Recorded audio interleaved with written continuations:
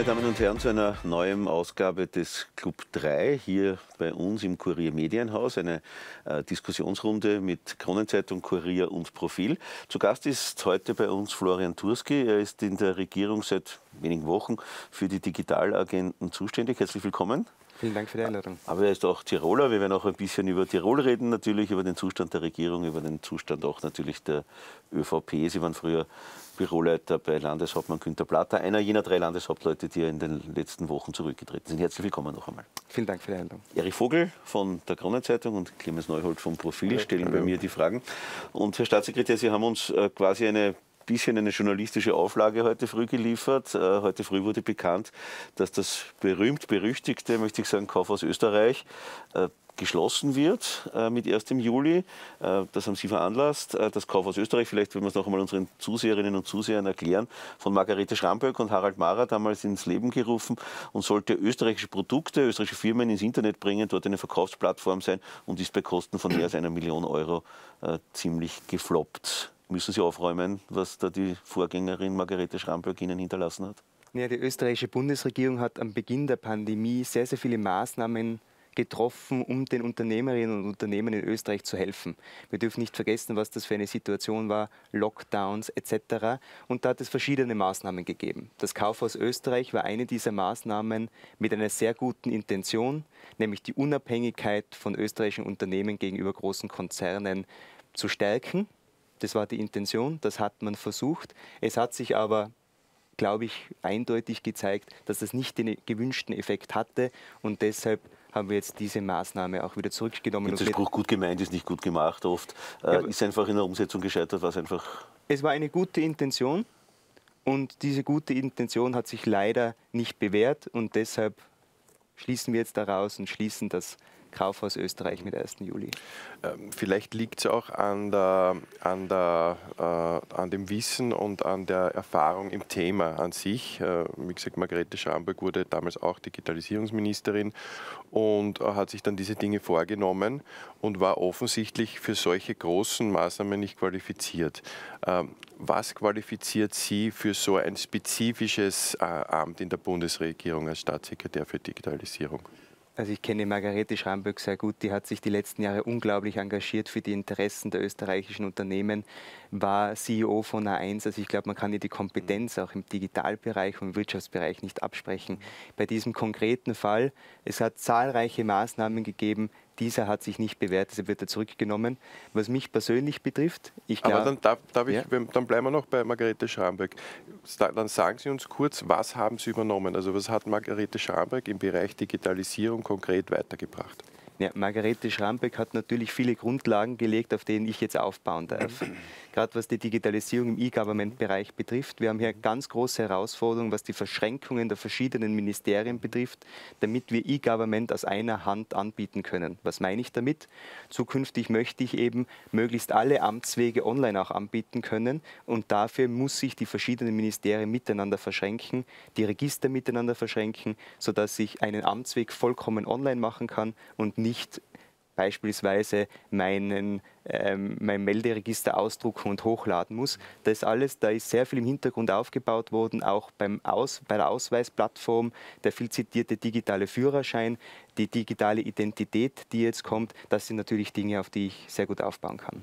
Darf ich, darf ich dann noch einmal zum Kaufhaus Österreich ganz kurz?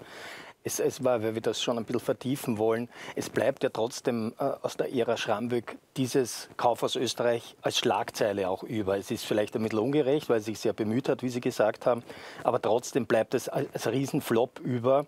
Ähm, und es ist auch dann relativ rasch quasi stillgelegt worden, dieses Projekt. Haben Sie da jetzt rechtzeitig noch eine Altlast ähm, entsorgt, ähm, so vor dem Sommer jetzt noch? Und, und wie, wie, wie können Sie dann noch verhindern, dass in Zukunft weitere derartige Flops passieren? Weil Sie stehen ja vor einer Riesenaufgabe. Ich glaube, niemand von uns ist auch frei von Fehlern und auch das möglicherweise das eine oder andere, was man versucht, gut meint, mit einer guten Intention, auch wozu einem geraten wird, dann nicht sich als so erfolgreich herausstellt, wie man das geplant hat. Das war auch in diesem, äh, in diesem Fall der Fall. Ich glaube, es ist wirklich ungerecht gegenüber Margarete Schramböck, sie auf dieses eine Projekt zu reduzieren. Sie war eine sehr gute Wirtschaftsministerin, hat viel vorangebracht, hat die Unternehmen gut unterstützt. Aber natürlich ist es jetzt auch meine Aufgabe, mir diese verschiedenen Projekte anzuschauen, wie das Kaufhaus Österreich. Und da hat der nun noch zuständige Bundesminister Martin Kocher mit mir den Entschluss gefasst, das nun einzustellen. Bleiben wir vielleicht noch beim Thema, weil okay. Äh, Sie haben gesagt, die Intention war ja vielleicht die richtige, mhm. äh, weil österreichische Unternehmen, kleine Unternehmen, brechen wir es runter auf eine kleine Buchhandlung zum mhm. Beispiel, abhängig ist davon, ob ähm, ihre Produkte auch im Internet auffindbar sind. Das war ja die Idee auch, äh, die es hinter dieser äh, Möglichkeit gegeben hat. Jetzt hat aber Europa, Österreich, aber vor allem Europa, diesen Zug ja komplett verschlafen in den letzten 20 Jahren. Wir sind abhängig von großen amerikanischen Plattformen. Google entscheidet, welche, äh, welches Kaufhaus sozusagen als erstes bei einer Suchanfrage gereiht wird.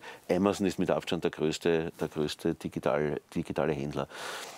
Was kann Europa, was kann Österreich tun, damit wir hier nicht an dieser äh, äh, Gatekeeper-Funktion, mhm. sagt man, glaube ich, der, der entscheidet, welches Kaufhaus angeboten wird im Internet, hier nicht abhängig sind von jemandem, der das dann vielleicht auch gegen die europäische und österreichische Wirtschaft einsetzt? Ich glaube, das sind jetzt zwei verschiedene Ebenen.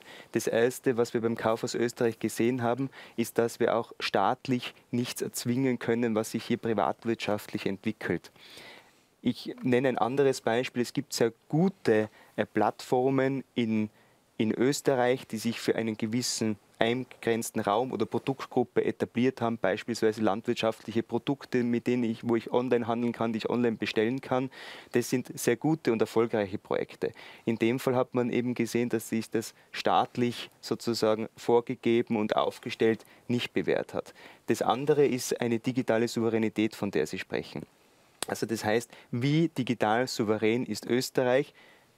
Und aus meiner Sicht, das ist die falsche Frage, wir müssen uns die Frage stellen, wie digital souverän ist die Europäische äh, Union? Und am Ende des Tages ist es sehr vergleichbar mit der Frage, wie militärisch abhängig ist man von gewissen Bündnissen und ähnliches. Digitale Souveränität wird ein ganz wichtiges Thema. Und hier versuchen wir uns nun, europäisch aufzustellen. Vielleicht ja, hat hier die Europäische Union auch die ein oder andere Entwicklung verschlafen, gerade was große Cloud-Verbünde betrifft.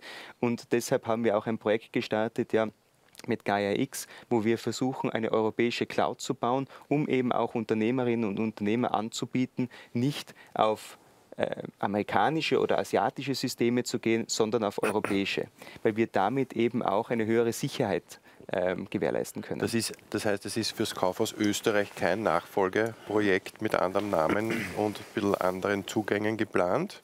Nein, es ist geplant, dass wir die Inhalte, die es da ja gegeben hat, in andere Portale wie das Unternehmensservice-Portal integrieren. Jedoch das Kaufhaus Österreich wird mit 1. Juli eingestellt. Kaufhaus Europa, gibt es da auf europäischer Ebene ein? Ist mir derzeit nichts okay. bekannt. Woran, woran scheitert es eigentlich bei Digitalprojekten in Österreich? Wir wollen über die Vergangenheit noch reden, wir wollen ja. ja natürlich auch über Ihre zukünftigen Projekte reden. Aber woran scheitert es eigentlich bei Projekten, die jetzt auf den ersten Blick nicht so komplex aussehen? Ich sage digitaler Führerschein. Das klingt nicht als große Hexerei, dass jemand äh, auf seinem Handy einen gültigen Führerschein hat und nicht dauernd sozusagen den äh, rosanen, den rosanen äh, Ausweis oder auch den, äh, die Scheckkarte mitführen muss. Ähm, Woran scheitert das? Weil man sieht ja, wenn es schnell gehen muss, wenn der Druck groß ist, ich sage grüner Pass mhm. ähm, zum Beispiel, dann, dann funktioniert es ja. Oder weil Sie Tiroler sind, auch die Skigebiete haben es relativ rasch geschafft, die Skikarten mit den 3G-Nachweisen zu verknüpfen.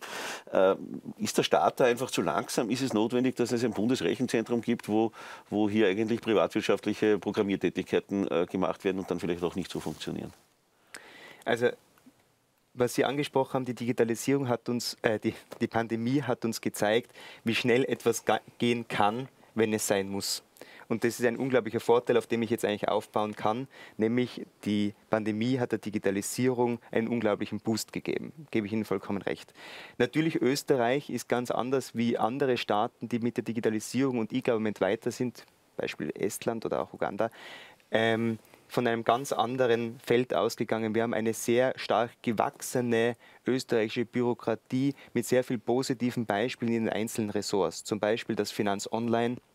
Hier sind wir im europäischen Vergleich absolut führend mit den Funktionen, die wir haben. Ein hervorragendes Melderegister. Ganz Deutschland hat noch kein zentrales Melderegister. Wir verfügen darüber. Und die Herausforderung ist aber, diese gewachsenen Systeme miteinander zu verknüpfen Ähnlich auch beim digitalen Führerschein, dieses Zusammenspiel aus den verschiedenen Registern und Möglichkeiten. Und das versuchen wir jetzt eben aufzulösen. Ich war selber äh, zwei Jahre, habe ich mich äh, bei einem Startup engagieren dürfen als Geschäftsführer und deshalb weiß ich, wie technische Entwicklungen oft sich verzögern, oft an, an, Problemen wie Datenschutz und ähnlichem, Sicherheitsbedenken auch etwas sich hinauszögern. Auch in, in, im Fall des Führerscheins war das ja so. Und deshalb werden Sie von mir auch nie ein konkretes Datum nennen, wann etwas umgesetzt wird, sondern ich werde versuchen, das immer möglichst kurz davor anzukündigen, weil das ist äh, in der IT-Branche einfach zu gefährlich. Darf ich, darf ich, da einhaken? Wir haben auch in der, in der Pandemie gesehen, wo unsere Schwächen sind. Also der Boost ist das eine, die Schwächen das andere. Mhm. Nennen wir ganz dramatisch das Gesundheitssystem. Die Dateneinmeldung hat nicht funktioniert über alle Spitäler hinweg. Also das haben alle Experten heftig kritisiert und auch im Bildungsbereich hat man, hat man das gesehen in den Schulen. Es wurden dann, ich kann mich erinnern, der, der Ex-Kanzler Kurz und der Bildungsminister haben damals die Auslieferung von Laptops, die sich dann eh ewig hingezogen hat, an Schulen als digitale Revolution gefeiert. Ähm, wie wollen Sie die, bei diesen Baustellen ansetzen?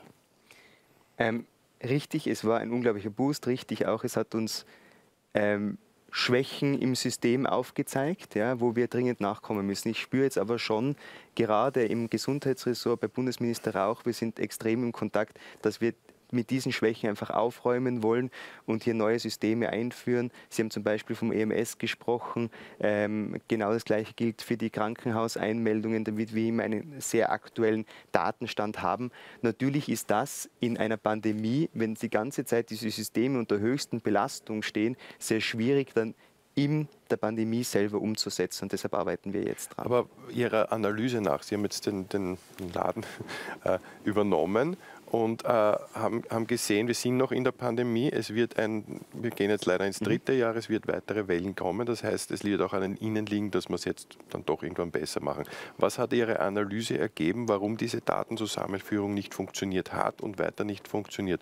Föderalismus, Datenschutz, was sind die Gründe? Ich glaube, es ist eine Kombination aus, aus aus, aus ganz, ganz vielen Themen, unter anderem eben, dass wir ein funktionierendes System hatten, das aber für ganz andere Parameter ausgerichtet ist. Ja, wir hatten ein, ein Meldesystem, das für ein paar wenige Einmeldungen pro Tag äh, zur Verfügung stehen sollte. Und plötzlich mussten da unglaubliche Datenmengen, nicht nur die positiven Fälle, sondern auch die negativen Fälle eingegeben werden.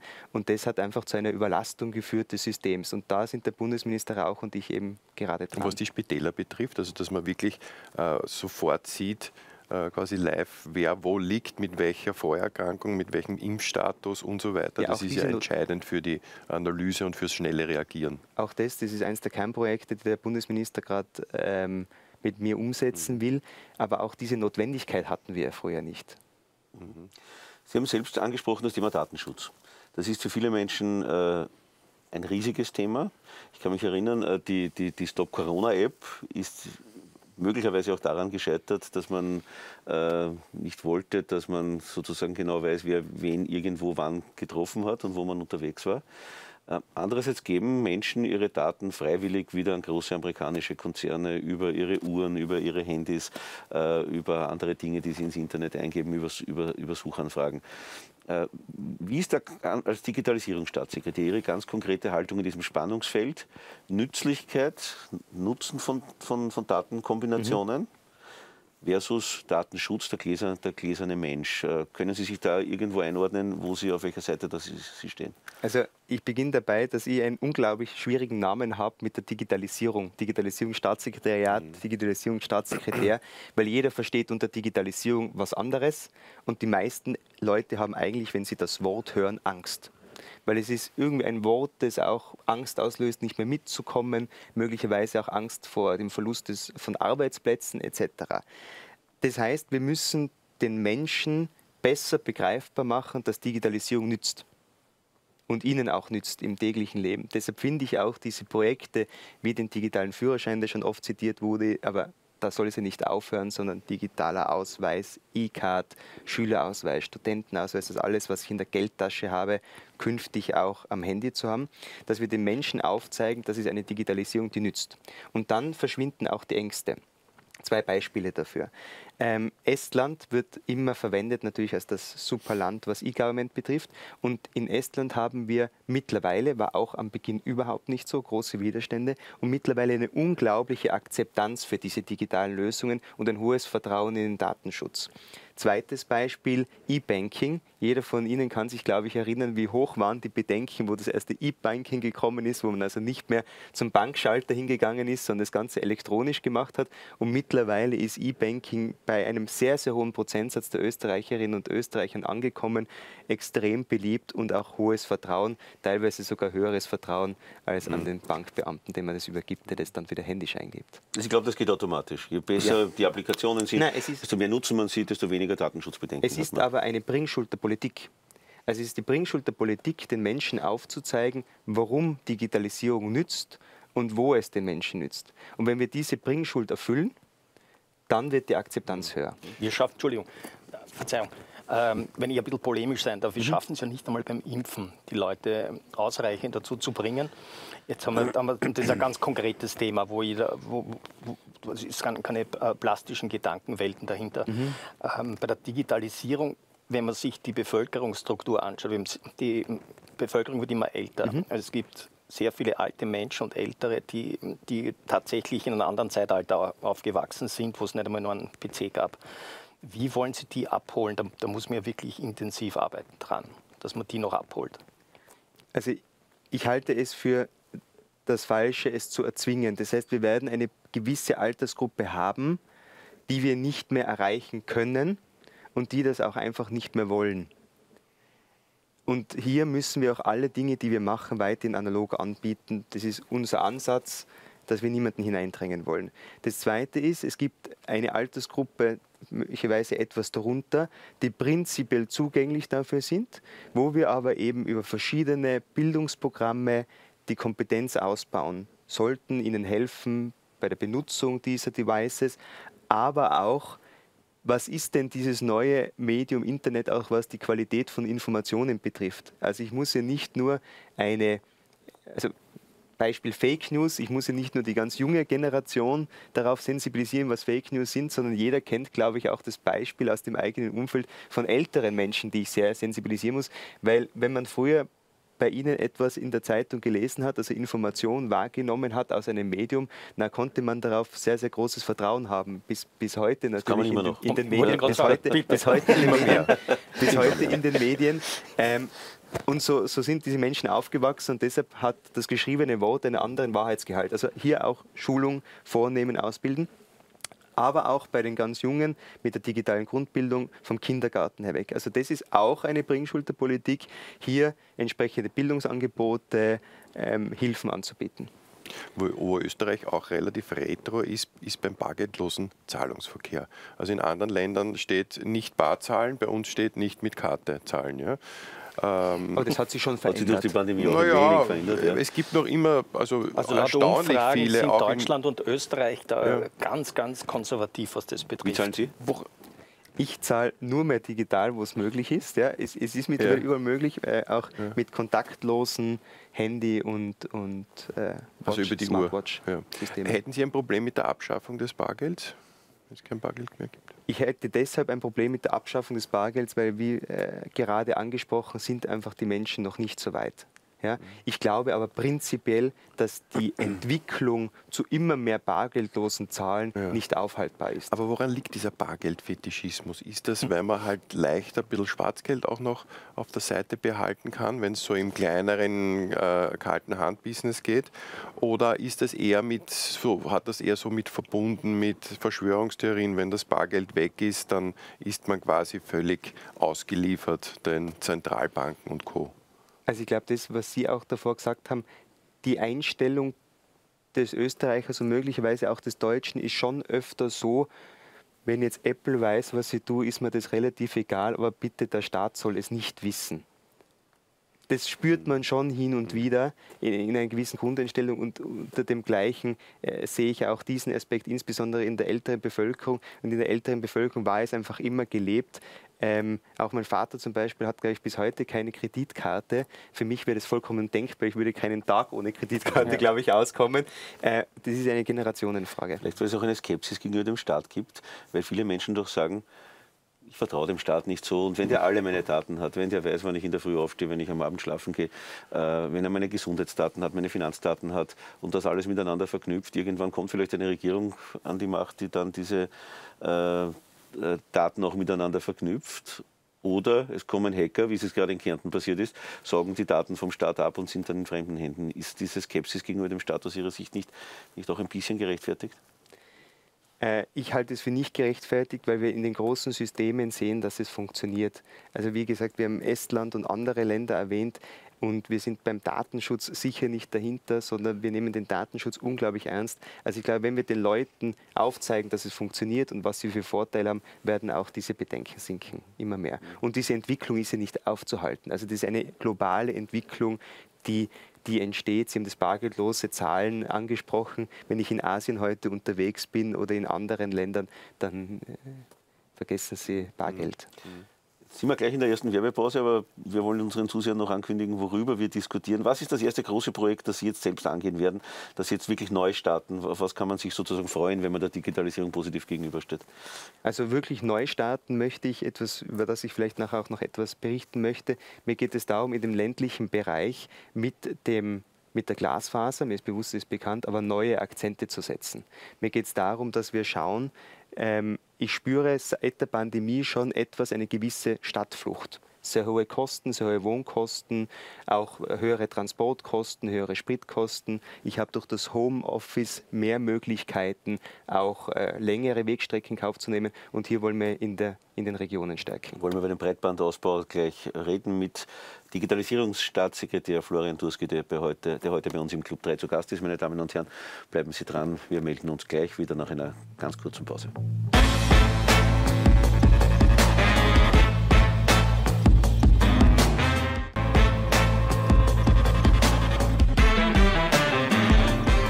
Zurück, meine Damen und Herren, bei unserem Gespräch über das digitale Österreich heute mit Digitalisierungsstaatssekretär Florian Turski.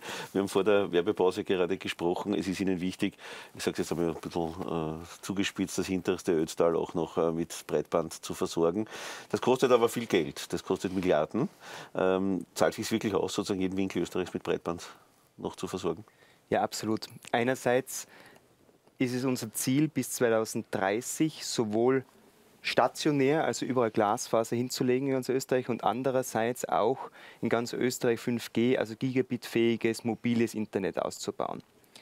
Einerseits passiert es natürlich privatwirtschaftlich, also von privatwirtschaftlichen Betreibern, dort wo es sich auszahlt, wo möglichst viele auch Nutzer dann sind, wird es ausgebaut, weil es ein Geschäftsmodell ist. Andererseits sind wir aber natürlich dafür auch verantwortlich, auszubauen, wo es sich nicht auszahlt und deshalb fördern wir das. Mittlerweile jetzt dann bald mit 2,5 Milliarden die erste Breitbandmilliarde waren 1,1 Milliarden.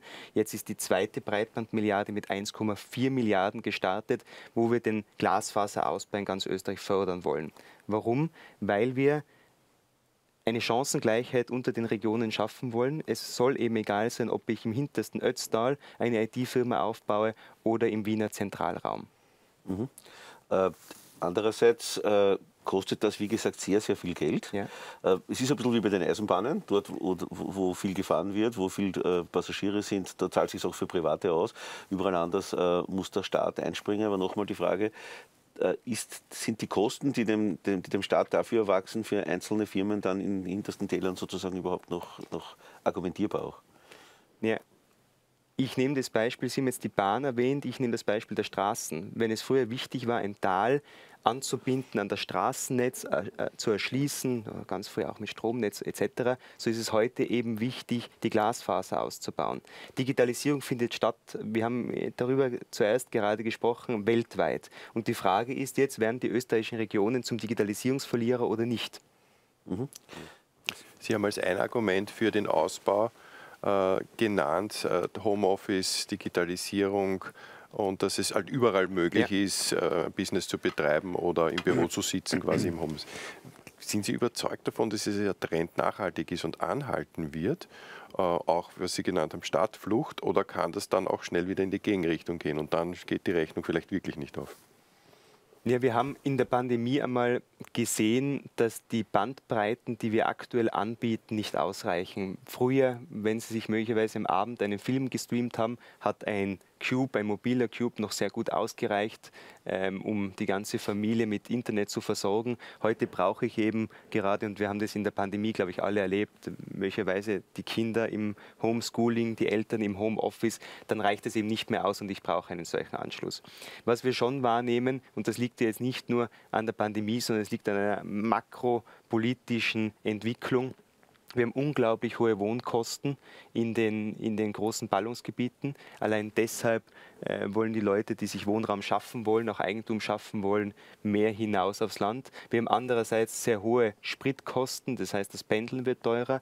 Und wir haben jetzt die Möglichkeit, eben durch die neuen Technologien, dass ich nicht mehr jeden Tag in die Arbeit hineinpendeln muss. Deshalb glaube ich, dass diese Entwicklung auch nachhaltig sein wird und auch eine große Chance für die Regionen.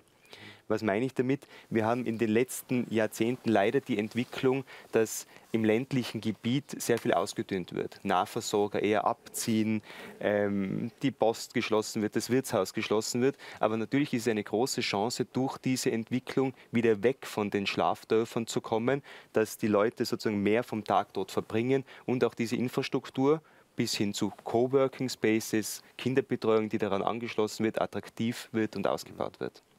Sie das Gefühl, dass unsere Kinder in der Schule dafür schon richtig ausgebildet werden, dass äh, das, was man aus dem asiatischen Raum äh, in Singapur, in Taiwan zum Beispiel erlebt, dass dort also ganze Generationen aufwachsen, programmieren können, äh, sich sozusagen wirklich wohlfühlen, auch in diesem digitalen Bereich, dass das bei uns in der Schule äh, auch schon stattfindet, wo halt die Kinder in dem Gymnasium gerade einmal Excel und Word äh, zu bedienen lernen.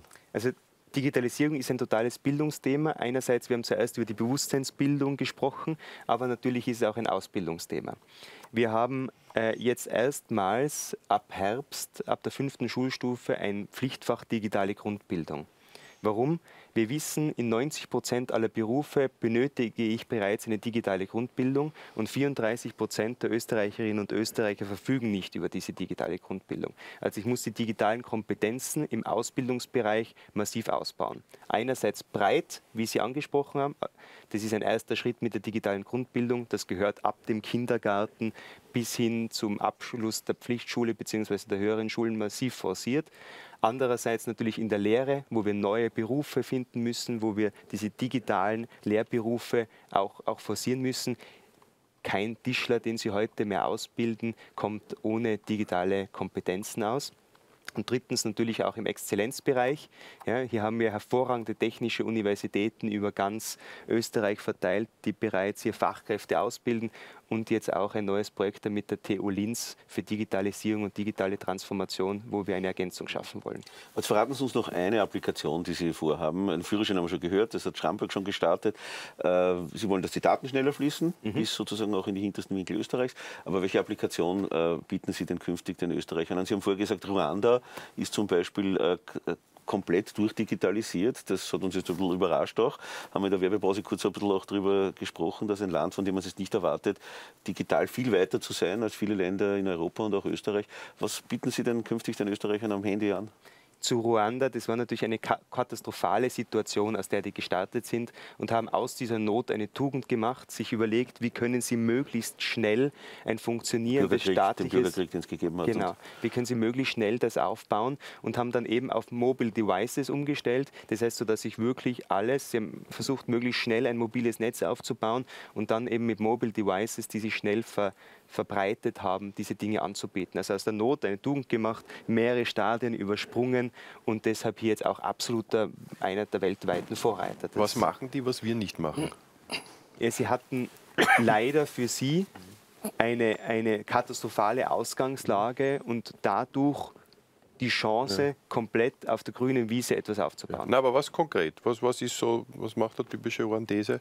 Sämtliche, was, was sämtliche Amtswege, sämtliche Amtswege, also die gesamte Verknüpfung der Informationen, wenn Sie heute einen Reisepass bestellen, aber neu auszustellen, ähm, das ist dort alles bereits digital möglich. Ist das, weil Sie haben es angesprochen, auch, auch an dich anknüpfend, mhm. was ist das konkrete Projekt für die verbleibenden äh, äh, Jahre jetzt bis, bis, bis, zur, bis, zur, bis zur nächsten Wahl? Also ist es so, dass Sie sagen, bis 2024 möchte ich, dass alles am Handy möglich ist, was ich als Bürger äh, äh, brauche vom Staat. Ich möchte, dass fast alle Amtswege, also damit ja. alles, was möglich ist, digital am Handy möglich ist. Warum fast alle?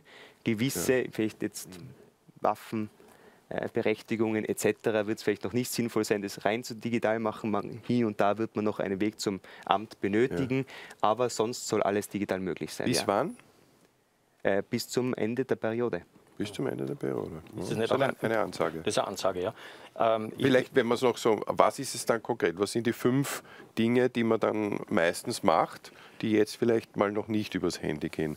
Können Sie ein paar Beispiele geben, was dann Also als Ende Kern möchte ich, möchte ich alle Ausweise, die ich aktuell in der Geldtasche habe, künftig am Handy haben. Das heißt, von der E-Card weg, ja.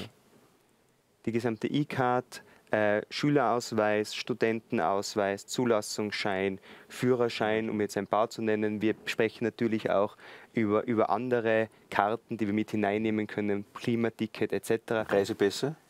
Äh, der Reisepass, zumindest einen, einen digitalen Ausweis. Ja? Reisepass liegt natürlich dann immer daran, wird er überall anders akzeptiert, sodass es Sinn macht. Das kann ich nicht Aber versprechen. der Personalausweis, die Vorstufe zum, zum, ja. zum Reisepass soll Also eine, eine offizielle eine digitale Identifikationskarte ist dann, ist dann in weiterer Folge der nächste Schritt. Aber auch, es soll einfach Standard werden, dass heute, wenn ich einen neuen Pass bereits ähm, bestelle, weil, weil meiner auslauft, dann bekomme ich bereits automatisch die digitale Identität dazu. Und mit dieser digitalen Identität, die in wenigen Tagen jetzt dann startet, wollen wir wollen wir diese digitalen Amtswege dann ausbauen, das heißt das Nachbestellen des Passes ganz konkret. Ich muss aber auch dazu sagen, ich bin immer wieder überrascht, wie viel eigentlich schon geht. Ja, also ich bin selber jetzt draufgekommen in den letzten Wochen, äh, dass man den Strafregisterauszug äh, sich vollkommen online, äh, ohne noch irgendwo hingeht, mit wenigen Klicks bestellen kann. Also manchmal liegt es auch daran, aber das ist auch unsere Verantwortung, die Menschen darüber zu informieren, was ist denn schon alles möglich. Aber wie, wie kann das sein, dass Sie als Büroleiter eines Landeshauptmanns und als, als, als Businessman im Vorfeld äh, das nicht gewusst haben. Ja, ich also was, was läuft da in der Kommunikation falsch?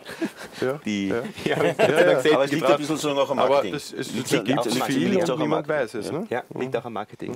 Und, und diese Funktionen, wir haben ja diese App, das digitale Amt geschaffen und das ist wirklich toll. Ich habe dort mit meiner digitalen Identität oder bisher der Handysignatur auch gleichzeitig den Zugang zu meinen ganzen anderen Portalen, Sozialversicherungsportal, Finanz Online.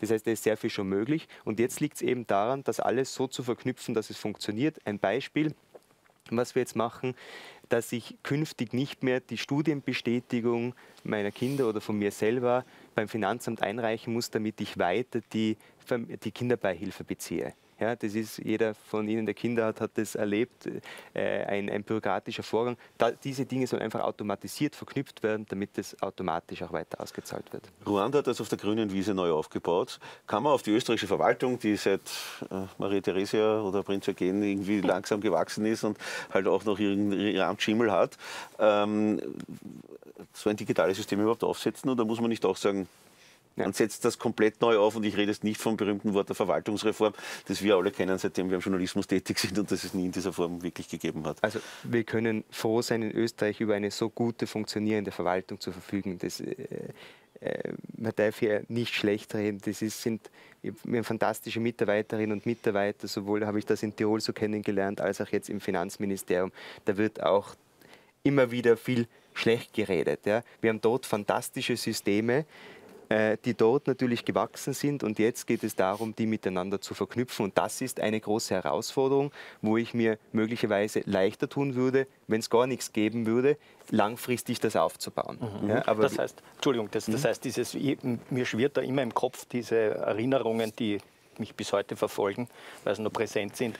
Dieses Nummern ziehen und dann wartest und dann kriegst du eine Rechnung, dann gehst du damit runter. Das war vor zwei Jahren noch in die Amtskasse und zack, und dann kriegst du oben deinen Zettel oder auch nicht. Ja, oder früher ne? Stempelmarken. Stempelmarken, ja. genau. Also das, das, das, ähm, das muss der Vergangenheit Das muss der Vergangen, es wird aber auch viele Arbeitsplätze kosten, nehme ich an. Genauso wie viele Angst haben, dass diese sogenannte äh, künstliche Intelligenz Arbeitsplätze kosten wie viel Beamte wird. Spart, wie viel Beamte mhm. spart eine gute Digitalisierung ein? Wir wissen, aus der, wir wissen aus der Vergangenheit, dass immer, wenn die Sorge war, dass eine, eine industrielle oder eine technologische Transformation Arbeitsplätze kostet, das Gegenteil eigentlich der Fall war. Das ist einmal das Erste, was man dazu sagen muss. Also ähm, ich, die Digitalisierung insgesamt wird Arbeitsplätze schaffen. Die Frage ist nur, Auch in der Verwaltung? Weil da müssten wir als Steuerzahler dann wieder ein bisschen langsam bekommen. in der Verwaltung gehe ich nicht davon aus, dass es, dass es auf jeden Fall mehr braucht. Nein. Ähm, aber es ist so, dass die, digitale, also die Digitalisierung und digitale Transformation in der Wirtschaft auf jeden Fall Arbeitsplätze bringen wird. Wir müssen nur natürlich schauen, dass wir dran sind und auch diese Arbeitsplätze halten. Ich muss trotzdem aus aktuellem Anlass dazu sagen, wir werden sicher in wenigen Wochen, und Monaten die Situation haben, dass wir weit mehr offene Stellen in Österreich als Arbeitssuchende haben. Also auch das zeigt mhm. eigentlich, äh, Oft finden natürlich bewusst auch Digitalisierungsprozesse statt, weil einfach die Fachkräfte und die Menschen nicht zur Verfügung stehen, die das, die das machen können. Ich würde sagen, machen wir mal hier einen Punkt hinter das Thema Digitalisierung. Äh, wir wollen mit Ihnen natürlich auch über die ÖVP reden. Ähm, Sie haben vorher gesagt, man soll nicht schlecht reden. Jetzt ist die ÖVP in Umfragen jetzt schon Richtung 20 Prozent. Es gibt erste Umfragen, wo sie gleich auf mit der, mit der FPÖ und 10 Prozentpunkte hinter der SPÖ liegt. Ist die ÖVP derzeit wirklich schlecht oder wird sie nur schlecht geredet? Also ich glaube, die österreichische Volkspartei verfügt über hunderte, tausende Funktionärinnen und Funktionären, die von der Gemeindeebene hinauf bis zur Bundesregierung versuchen, täglich ihr Bestes zu geben für die Menschen in unserem Land. Äh, wir haben Karl Nehammer, der gerade mit 100 Prozent als Bundesparteiobmann gewählt wurde. Man sieht also, es gibt eine unglaubliche Geschlossenheit in der Partei. Das war nicht immer so, insbesondere wenn es schlechte Umfrageergebnisse gegeben hat. Äh, in der ÖVP war eher das Gegenteil der Fall. Man sieht also, hier steht man geschlossen müssen. Man ist der Überzeugung, dass Karl Nehammer der richtige Kandidat ist, um diese Bundesregierung und auch die ÖVP in die Zukunft zu führen. Wir dürfen aber auch nicht vergessen, was ist denn die letzten Jahre passiert. Also ich glaube, niemand von Ihnen kann sich an ähnliche objektiv ähm, krisengebeutelten Jahre erinnern in der Innenpolitik wie die letzten. Und das war nicht alles hausgemacht, sondern es war auch durch externe Faktoren wie der Pandemie, jetzt durch den Ukraine-Konflikt unglaubliche hohe Inflation ähm, resultierend. Und dass hier natürlich die äh, eine, eine, eine Bundesregierung, das merken wir, glaube ich, überall äh, in der Welt, eine, eine Regierung dann es schwierig hat, das liegt auf der Hand. Darf ich, darf ich da trotzdem einhaken, weil wir Umfragen äh, angesprochen haben? Ich habe heute drei bekommen, drei aktuelle, die nach der Präsentation des Antiteuerungspaketes stattfanden. Die haben alle drei, äh, von Hayek bis Lasersfeld und, und IFDD, haben die SPÖ bei 31 und die ÖVP bei 21 Prozent. Ähm, sollte das nicht trotzdem zu denken geben und wie, komm, wie kann man da rauskommen aus, dieser, aus diesem Prozess? Also wir versuchen in der in der Bundesregierung bestmögliche Arbeit für die Menschen zu machen anhand dieser schwierigen Situation. Wir haben zwei Pakete aufgelegt mit insgesamt vier Milliarden Hilfen, jetzt ein großes Paket aufgelegt mit 28 Milliarden und das nicht nur Schnellschüsse sondern wirklich in die Struktur hineingehen, die schleichende Steuererhöhung, die kalte Progression abgeschafft, den Menschen zu helfen, die es brauchen, mit Sofortmaßnahmen. Ich glaube, das sind schon sehr große Würfe. Aber ja, natürlich ist es für eine Partei, die sich dann wieder einer Wahl zu stellen hat, muss man sich damit auseinandersetzen, wie ist die aktuelle Situation. Man versucht absolut das Beste zu geben, daran zu arbeiten, in Ruhe gemeinsam mit dem Koalitionspartner sehr gut zusammenzuarbeiten und dann soll das natürlich auch alles auf ein Wahlergebnis einzahlen. Schieben Sie jetzt sehr stark auf die externen Umstände, äh, auf den Krieg, auf die Teuerung, auf die Corona-Situation etc. Es gab aber auch Jets, es gab auch die Situation äh, mit dem äh, Vorarlberger Wirtschaftsbund, es gibt die Situation mit dem Seniorenbund in Oberösterreich, wo die ÖVP einfach durch sehr viele interne Dinge, die falsch gelaufen sind, ähm, in die Medien gekommen ist. Wie groß ist dieses Problem denn auch hausgemacht von der ÖVP selbst? Was man vor allem spürt, ist natürlich, dass diese, diese Situationen von der Opposition dazu verwendet werden, die ÖVP in einen Frame hineinzuzwingen, die ÖVP sei korrupt, und das ist einfach nicht der Fall. Ein bisschen aufgelegter Elfmeter, sagt man, für die Opposition natürlich, wenn es jede Woche so einen, einen neuen Skandal gibt. Ja. Aber der Rechnungshof ist zählt nicht zur auch, Opposition. Da wird, auch sehr viel, da wird auch sehr viel von der Opposition natürlich befeuert an diesen wöchentlichen Angriffen und auch äh, bewusst gesteuert von ihnen, dass diese wöchentlichen Angriffe stattfinden. Ja, aber der Rechnungshof zählt jetzt nicht zur Opposition. Also ja, der Rechnungshof äh, nimmt in diesem Fall jetzt eine, eine Überprüfung mhm. vor von einer Sache, die bereits von externen Wirtschaftsprüfern zweimal geprüft wurden. Die äh, ÖVP-Finanzen, ne? also im Wahlkampf. Ja, vom, vom Rechenschaftsbericht. Genau. Das, ist, das ist natürlich absolut legitim und ich gehe davon aus, dass das Ergebnis der bisherigen Rechnungsprüfer auch bestätigt wird. Okay. Aber und Verzeihung, ich wollte dann noch, und weil wir schon bei dem Thema sind, die WKSDA führt ja auch äh, ich, zahllos, ich, ich, ich habe es nicht mehr im Kopf, man kann es nicht mehr zählen, mhm. äh, gegen ÖVP-Personen. Ähm, ist, ist, das auch der Opposition geschuldet durch die Anzeigen, die stattfinden? Oder da, gibt es da auch Probleme innerhalb der WKSDA, wie das der Herr Hanger einmal gesagt hat, äh, aus Ihrer Sicht?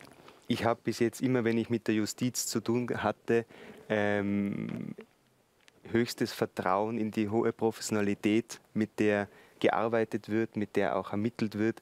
Ähm, ich bin jetzt erst wieder seit kurzem hier in Wien, ganz genau kann ich es überblicken, aber ich habe keinen Grund zur Annahme, dass ja andere stattfindet. Natürlich werden Ermittlungen immer befeuert durch, durch Anzeigen, die hier in sehr großem Stil stattfinden und das muss man auch ganz offen sagen, bisher zu keinem wirklichen, äh, zu keiner wirklichen Verurteilung geführt hat. Und in dem Fall muss man auch sagen, äh, alles, was hier in den Ring geworfen wird, bis jetzt ist davon wenig übergeblieben. Die ÖVP liegt jetzt dort äh, in den Umfragen, wo Sebastian Kurz die ÖVP übernommen hat, äh, von Reinhold Mitterlehner. Zwischendurch war sie auf über 40 Prozent sogar in Umfragen und hat bei Wahlergebnissen äh, knapp 40 Prozent erreicht. Wäre die ÖVP mit Sebastian Kurz, wenn er noch Parteiobmann wäre, jetzt auch auf 21 Prozent oder glauben Sie, wäre die ÖVP dann noch stärker? Ein Was wäre, wenn äh, hier zu spielen, macht überhaupt keinen Sinn in der Politik. Genauso kann man die Frage stellen, wie hätte es sich entwickelt, wenn Ibiza nicht passiert wäre oder ähnliches. Es ist so, wie es ist, aber die Partei steht im Gegensatz zu, zu damals zu 100 Prozent hinter Karl Nehammer und ist davon überzeugt, dass er hier der richtige Kandidat ist, um das zu machen. Aber bleiben wir genau bei dieser Phase. Wie gesagt, die, die ÖVP hat sich von 40 Prozent jetzt auf 20 Prozent entwickelt und alles kam ins Rutschen in der Ära Kurz. Er hat sie raufgeführt und, und dann kam der, kam der Absturz. Äh, welche Beziehung haben Sie zu Sebastian Kurz? Sie sind zwei Jahre jünger. Mhm. Äh, Sie war er ein Vorbild für Sie? Ist er weiterhin für ein, ein, Vorbild für Sie? Welche Beziehung haben Sie zu ihm? Und was bleibt von seiner Zeit, von seiner Ära?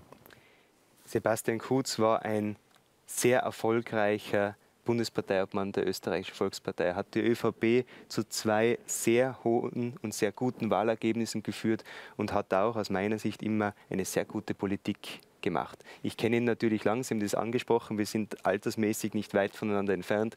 Wir kennen uns von der gemeinsamen Zeit in der jungen ÖVP. Wir waren äh, zahlreich ähm, miteinander am Berg unterwegs und ähnliches. Und ich habe immer die Art und Weise geschätzt, wie er Politik betrieben hat. Und was bleibt von seiner? Ja. Ich glaube, äh, sehr viele Reformen, eine gute Politik und auch zwei hervorragende Wahlergebnisse. Und was müssen Sie jetzt als junger Neo-ÖVP-Politiker anders machen, damit die ÖVP wieder aus der Krise kommt? Wie sind gesagt, Sie besonders letzten, gefordert als 33-Jähriger? Richtig, aber die letzten Jahre waren, glaube ich, besonders herausfordernd eben für die Politik. Und natürlich ist es wichtig, dieses Vertrauen, das objektiv in die gesamte Politik, und da ist ja nicht nur die Regierung äh, betroffen, sondern genauso die Opposition, wieder zurückzugewinnen. Aber wie? Mit ordentlicher Arbeit, Projekte, die wir uns vornehmen, umzusetzen und in Ruhe, ohne Streit zu regieren.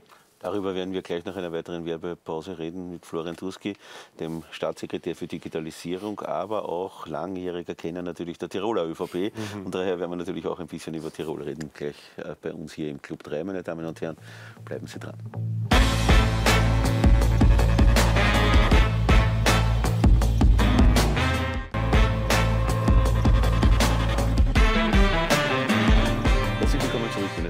Zum Club 3 mit Florian Turski, Digitalisierungsstaatssekretär, aber auch Tiroler. Sie waren, bevor Sie hier nach Wien gewechselt sind, Büroleiter äh, von Landeshauptmann Günter Platter. Wenige Wochen später ist er zurückgetreten. Hat Sie das überrascht oder haben Sie vorher schon gewusst, dass Günter Platter gehen wird und sich sozusagen selbst ein wenig nach Wien, nach Wien abgesetzt? Also was in, was, was in den vier Augengesprächen zwischen einem Büroleiter und äh, einem Landeshauptmann passiert, bleibt natürlich auch dort. Außer es ist per Chat, dann geht es oft, oft auch, in die, auch, auch in die Medien. ähm, aber der Landeshauptmann hatte gesagt, dass er sich auch mit Wegbegleitern ausgetauscht hat in den Wochen davor und ich war da einer davon, ja. Und Günter Platter hat angesprochen, dass er auch den großen Druck, den es gegeben hat, den medialen Druck, auch äh, Drohungen, die es gegeben hat. Ähm, können Sie uns trotzdem ein bisschen erzählen, wie sehr leidet der Politiker, an dem Sie sehr nahe in dieser Phase dran war, unter, unter so einer Situation? Ist das was, was dann wirklich die tägliche Arbeit fast ein bisschen äh, so zum Leid, auch zum Leid macht? Wenn man Günter Platter kennt, äh, Sie sind ja alle langjährige Beobachter der, der Bundespolitik. Sie haben wahrscheinlich ihn schon kennengelernt als Innenminister und als Verteidigungsminister. Na weiß man, der haltet schon einiges aus. Also es ist ja nicht so, als wäre Günter Platter äh, zu diesem Zeitpunkt das erste Mal mit, mit Drohungen oder auch ähm, massiven Gegenwind ähm, konfrontiert gewesen. Das hat er bereits kennengelernt, insbesondere als Innenminister. Die ganze Arigona-Zeit zum Beispiel fiel ja damals, äh, zumindest zu Beginn, mhm. unter ihm. Aber es hat sich einfach, und das hat er auch gespürt, in den letzten Jahren etwas verändert. Er war 36 Jahre in der Spitzenpolitik, begonnen als Bürgermeister, Nationalrat, Landesrat, dann äh, Verteidigungsminister, Innenminister und dann 14 Jahre erfolgreicher Landeshauptmann. Äh, begonnen von der, von der Wirtschaftskrise über wahnsinnig erfolgreiche Jahre für Tirol, acht Jahre Nulldefizit und dann eben die letzten beiden Jahre. Und die letzten beiden Jahre waren natürlich insbesondere in Tirol besonders schwierige Jahre, was die Pandemie betrifft. Viel darüber berichtet worden, viel darüber gesprochen. Die Pandemie hat ein bisschen in Tirol auch den Ausgang genommen. Die ersten Fälle waren dort, Ischgl, äh, dann die die Wintersaisonen, die abgesagt werden mussten. Jeder, der Tirol kennt, weiß, dass das eine Sache ist, die in Tirol einschlagt. Ja. Tourismus ist in Tirol etwas anderes als in anderen Gebieten Österreichs. Sehr, sehr viele Existenzen hängen davon ab.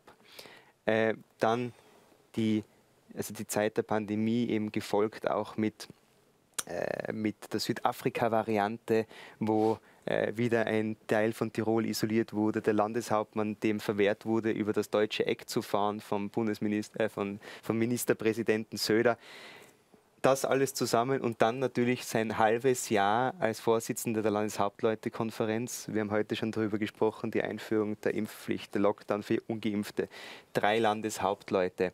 Also ein bisschen viel auf einmal. Ein bisschen viel auf einmal und dann noch Morddrohungen, persönliche persönliche Anschuldigungen von Bürgerinnen und Bürgern auf der Straße, ähm, Autokorsos, die gezielt am, am Zuhause mit über 150 Autos vorbeigeführt wurden, dass dann ein Politiker einmal sagt, nach so einer langen und auch erfolgreichen Zeit mit 68 Jahren, es ist einmal genug, ähm, und wir sorgen für einen ordentlichen Übergang. Ich glaube, das ist verständlich. Ja, dabei wirkt er aber noch sehr fit. Also wenn man wenn ich den Vergleich anstellen darf, der Herr Schützenhöfer, der ungefähr gleich alt ist, kein Vorwurf, aber der, der, der wirkt ein bisschen älter, würde ich sagen, als der, als das hört der, Landeshauptmann der Herr sicher gern.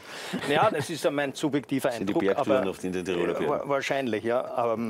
Und er hat noch, glaube ich, ein Jahr vorher angekündigt, verlängern zu wollen. Also da muss mhm. irgendwas in diesem, in dazwischen in den letzten Monaten dann passiert, gewesen, äh, passiert sein, dass mhm. den Auslöser äh, das, das, war sicher das letzte halbe Jahr. War das das letzte halbe Jahr? Das war sicher das letzte halbe Jahr aus, äh, ausschlaggebend dafür, die ganzen Entwicklungen. Ähm, ich habe es eben gesagt, drei Bundeskanzler, Impfpflicht, diese, diese Anschuldigungen. Es war davor schon durchaus mhm. eine, eine heftige Zeit für die Politik insgesamt. Wahnsinnig viel, das wir in kurzer Zeit bewerkstelligen mussten, aber das war dann sicher ausschlaggebend. Aber es war auch die interne um Umfragensituation, oder? Umfragenlage, wo man sondiert hat, wo steht man gerade, äh, er persönlich, äh, die ÖVP und sich dann entschieden hat, frischen Wind ich glaub, reinzubringen, zuletzt war es nur bei 32 Prozent also es, gibt, eine, es, gibt, hier un unterschiedliche Umfragen zu, äh, mhm. zu, Tirol. Es gibt eine, ganz richtig, mit 32 Prozent. Es gibt andere äh, aus der gleichen Zeit, die, die höher liegen. Äh, wenn man Günter Platter kennt, nachher weiß man, er hat sicher keine Sorge, in eine Wahl zu gehen. Man, ähm, er hat es öfter gemacht, man hat ihn öfter schon auf 30 Prozent geschrieben, er ist dann mit 38, 39 Prozent gerade im Jahr 2013 äh, weggegangen. Also das war sicher nicht der Grund. Aber mich interessiert jetzt, wenn wir darüber reden, über die, über die äh, die Politik und was Politiker heute aushalten müssen, was vielleicht offensichtlich mehr ist, wo man dickere Haut braucht als früher. Wie gehen Sie persönlich damit um? Zum Beispiel auf sozialen Medien. Ähm, Sie scheinen eher zurückhaltend zu sein. Ist das äh, absichtlich, äh, weil man auch äh, sich gar nicht aussetzen möchte der Gefahr eines Shitstorms? Also dass man zum Beispiel was twittert und das sind fünf Sätze und einer Satz wird aus dem Kontext gerissen und da heißt es dann feuerfrei. Den nehmen wir uns vor, weil der hat dann Halbsatz falsch gesagt, den schießen wir ab. Äh, wie, wie gehen Sie damit um? Wie, wie geht es Ihnen damit? Was ist Ihre Strategie, Ihre persönliche? Also meine persönliche Strategie ist, dass ich eher ein, ein politisches Thema habe, das hoffentlich in Österreich Konsensthema ist. Ich hoffe, dass niemand etwas gegen Digitalisierung hat. Ich glaube, dass das Bewusstsein sehr groß ist, dass die Digitalisierung in Österreich vorangebracht werden muss und soll. Und deshalb versuche ich hier gute Politik zu machen in einem Gott sei Dank sehr politisch unkonfrontativen Bereich. Mhm. Meine Herausforderung ist, wie wir heute schon länger gesprochen haben, diese Dinge dann auf den Boden zu bringen und wirklich umzusetzen. Und, und darauf konzentriere ich mich. Aber auch. auf Twitter wird man sie eher nicht erleben, doch. außer Verkündigungen, was Nein, doch, umgesetzt wir, wir, wir, wird, planen, wir planen auf Twitter zu gehen. Ich sehe mhm. da aber meine Aufgabe eher eben im technischen, im technischen Bereich und, und in, diesem, in diesem Umfeld aktiv dann zu sein. Also es wird nicht um 3 Uhr früh irgendwas frisch und fröhliches gezwitschert, wo dann ich hoffe nicht. Aber warum geht dann ein junger Mensch wie Sie, der auch in der Wirtschaft war und erfolgreich in der Wirtschaft war, überhaupt noch in die Politik? Sie haben beschrieben, wie das dann enden kann jetzt mit Günter Platter, mit Morddrohungen und Autokursus vor den, vor den Privathäusern. Was treibt einen dann an, in die Politik zu gehen? Ist es doch dieser Anspruch, Macht ausüben zu können? Will man vielleicht einmal Tiroler Landeshauptmann werden selbst, äh, wenn man jetzt ein junger Politiker ist? Was, äh, was streben Sie in der Politik an? Also, wenn man sich meinen Lebenslauf anschaut, war das immer irgendwie ein, ein Wechselspiel zwischen Wirtschaft und, und Politik. Ich bin ganz, ganz früh in die Schülervertretung gekommen, dann in die junge ÖVP, war dann äh, in der Kommunikationsberatung, dann Startup, dann wieder Politik, zuerst eigentlich als Pressesprecher eingestiegen, dann Büroleiter geworden. Aber es zieht sich natürlich schon die Politik auf der einen Seite und die Wirtschaft der, auf der anderen Seite wie ein roter Faden durch, durch mein Leben. Und wenn man dann die Möglichkeit hat, auch wirklich einmal selber zu gestalten, also nicht nur immer Ratschläge zu geben, sondern selber gestalten zu können, dann macht man das natürlich. Aber ist es, äh, ich, ich glaube, der, der, Kollege hat das hat auch äh, darauf ansprechen, äh, abzielen wollen, äh, das Schicksal des Herrn Platter dieses Zermürbende, diese Drohungen, ob man sich das überhaupt antun will. Es ist ja doch ein aufreibender Job, könnte man vorstellen, 15 Stunden am Tag sind keine Seltenheit. Will man sich das dann überhaupt antun, wenn man sieht, was das äh, mit einem machen kann oder was die, was die Leute dann mit einem machen? Also es gibt viele auf, äh, aufmürbende und, äh, äh und sehr anstrengende Jobs äh, auch bei Ihnen wird so ein oder anderes Mal so ein Tag keine Seltenheit sein. Ähm Zumindest kriegen wir keine Morddrohungen, oder nicht so oft? Ja, natürlich, aber, aber also, es ist nicht so, als es gibt wahnsinnig viele sehr anstrengende Berufe. Ich bin in der Situation, dass ich noch keine eigene Familie habe. Das heißt, ich kann mich also auch voll, ich lebe in einer Fernbeziehung seit acht Jahren mit einer Schweizerin, die in der Schweiz wohnt. Also ich kann mich sehr, sehr gut darauf konzentrieren. Wie fern? Wie fern? In einer also Fernbeziehung? Ost- oder Westschweiz? Äh, äh, in der Nähe von Zürich, im okay. Zug. Mhm. Ist also eine Schweizerin. Ja. Ja. Also das geht, insbesondere ja. jetzt äh, ist halt ein bisschen, aber, aber früher insbesondere. Aber jetzt sind Sie ja in Wien, das heißt, Sie müssen es ist eher Wien-Zürich, dann ist das Thema. Ne? Es also ist dann eher Wien-Zürich oder man trifft sich halt in Innsbruck. Ich versuche schon am Wochenende okay. eigentlich viel. Mit dem Zug? In oder mit dem Auto? Äh, Innsbruck, wie, wie, wie, reisen Sie? Äh, Zug, Auto. Äh, heute zum Beispiel fliege ich das erste Mal äh, mit dem Flugzeug, weil es sich nicht anders ausgeht. Also ich versuche das sehr Elektroauto, Benziner, hm. Diesel? Äh, Hybrid. Hybrid. Mhm. Wir wollen natürlich, und darauf zielen die Fragen jetzt natürlich ab, äh, Sie sind einer der kommenden Männer in der ÖVP kommenden Politiker. Sie sind mit Claudia Blackholm, gehören Sie zu den Jüngsten im, im Regierungsteam. Äh, wie tickt Florian Turski denn sonst auch noch? Ähm, Schließen der Balkanroute und Null Toleranz bei Migration zum Beispiel.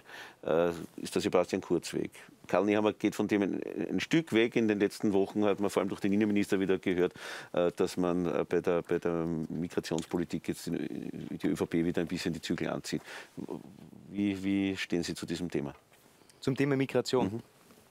Ich glaube, das Schwierige an diesem Thema ist einfach, dass man unterscheiden muss. Ich stehe dazu, dass illegale Migration in Österreich keinen Platz haben darf und nicht toleriert werden darf.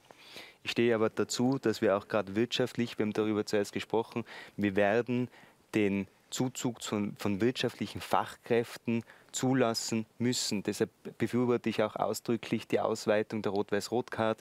Wir sprechen derzeit auch darüber, was Saisonniers betrifft, weil wir einfach da unglaubliche Probleme haben. Aber war kurz dazu restriktiv, weil er Branche. einfach wollte, dass die ÖVP nicht an die FPÖ wieder Wähler verliert und hat man hier dem Arbeitsmarkt vielleicht auch ein wenig geschadet, indem man gesagt hat, egal, wir wollen sozusagen keine zusätzlichen ja, damals, ja, damals ging es schon hauptsächlich um die illegale Migration, die keine Chance haben soll. Und da befinde ich mich auf der gleichen Linie. Illegale Migration soll keine Chance haben.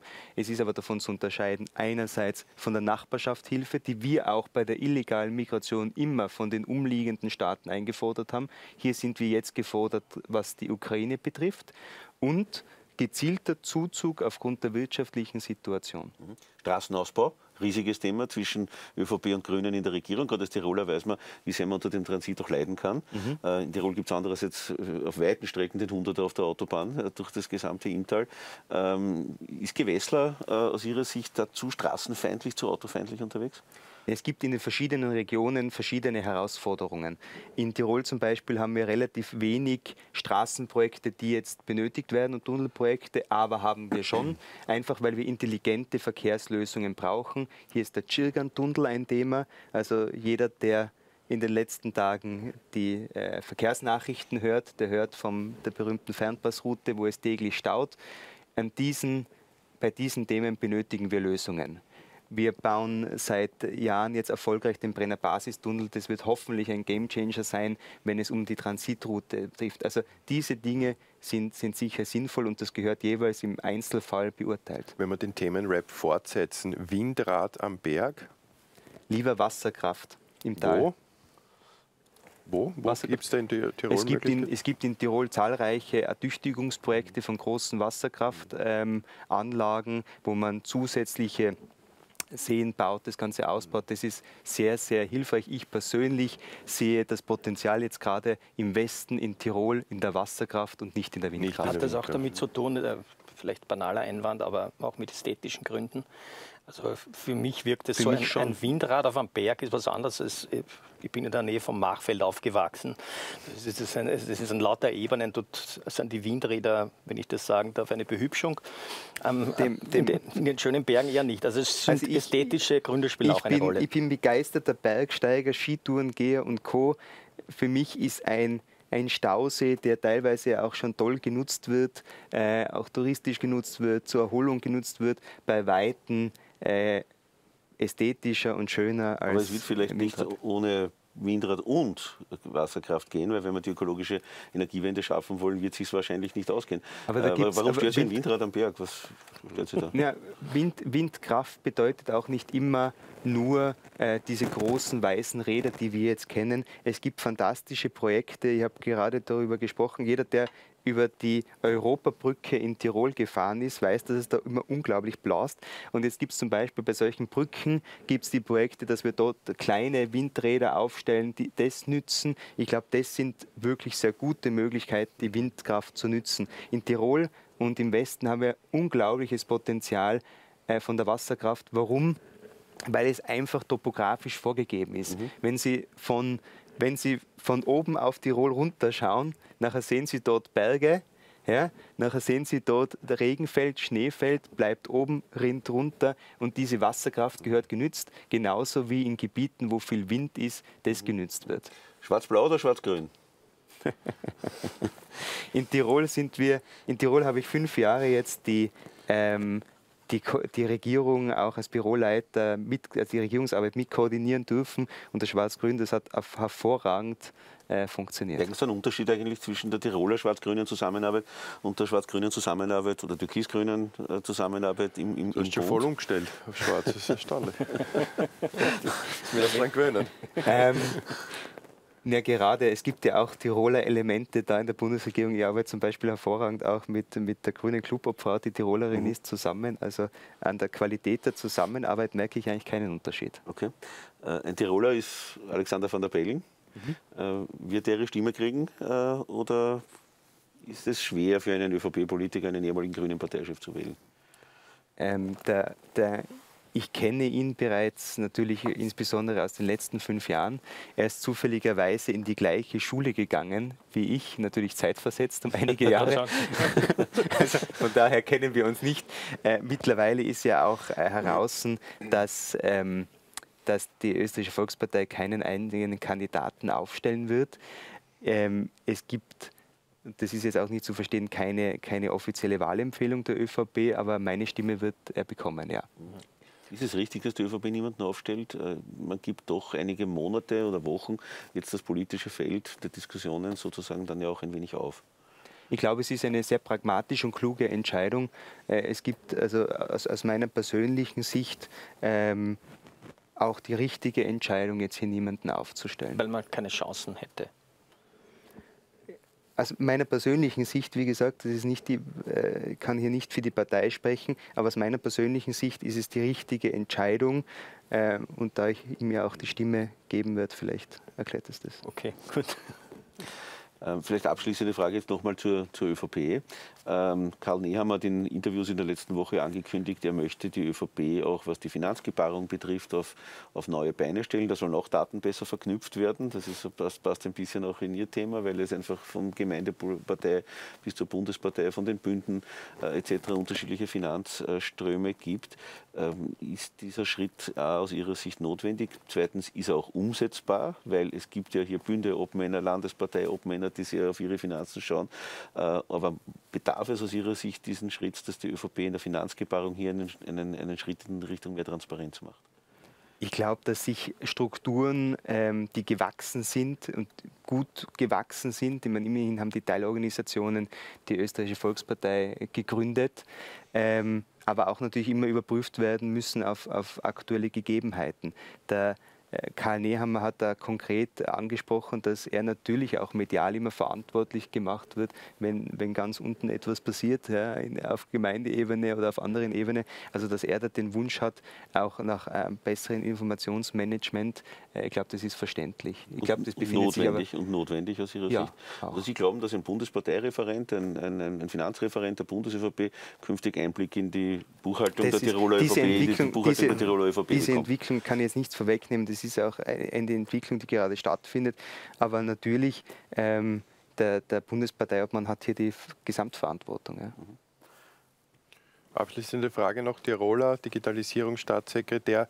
Äh, fahren Sie auch äh, äh, äh, virtuell Ski oder nur weiter in echt?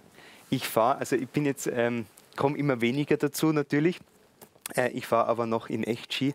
Bei mir ist es aber eher nachher das Skitouren gehen und dann abfahren. Das ist das, was mir ehrlich gesagt am meisten an Tirol aktuell abgeht. Ähm, früher war es für mich möglich, noch spät am Abend nach der Arbeit um 19 Uhr schnell auf einen Berg zu gehen oder auch eine Nachtskitour zu machen. Das ist in der Wiener Umgebung. genau, das geht, äh, einfach, das geht dann natürlich leichter. Also Après-Ski war nie Ihr, Ihr Thema? Nein, Après-Ski war nie mein Thema. Okay. Und wenn es im Herbst zu einer neuen Corona-Welle, zu einer gefährlicheren Corona-Welle kommt und wieder ein Lockdown, auch für die Tiroler Wirtschaft, für die, für die Industrie, für die Skiindustrie, äh, in, in, in der Regierung diskutiert wird, wird es eine laute Gegenstimme von Ihnen geben? Wir haben heute äh, noch nicht über Corona gesprochen. Prinzipiell ist so eine Entscheidung immer zu treffen aufgrund der aktuellen Rahmenbedingungen. Ich stehe auch hinter diesen Entscheidungen, die in den letzten zwei Jahren getroffen wurden, weil zur jeweiligen Situation die Situation so war, in den Krankenhäusern insbesondere und die Trostszenarien so waren, dass Maßnahmen zu treffen waren. Wenn es wieder solche Szenarien geben sollte, wird man wieder über Maßnahmen nachdenken müssen. Wir sehen aber aktuell Gott sei Dank, dass sich die Mutationen nicht so entwickeln. Florian Turski, ich glaube, wir haben viel über Sie persönlich äh, heute erfahren, über Ihre Vorhaben, die Sie im Digitalisierungsbereich haben, auch vieles über die ÖVP. Ich danke, dass Sie zu uns hier ins Club 3 Studio gekommen sind und mit Erich Vogel von der Kronenzeitung und Clemens Neuhold vom Profil und mit mir danke. diskutiert haben. Herzlichen Dank fürs Kommen. Danke Ihnen. Und Ihnen, meine Damen und Herren, danke vielmals fürs Zusehen. Wir sehen uns nächstes Wochenende wieder mit einer neuen Ausgabe des Club 3 hier auf Krone TV und auf Schau TV. Schönen Abend noch.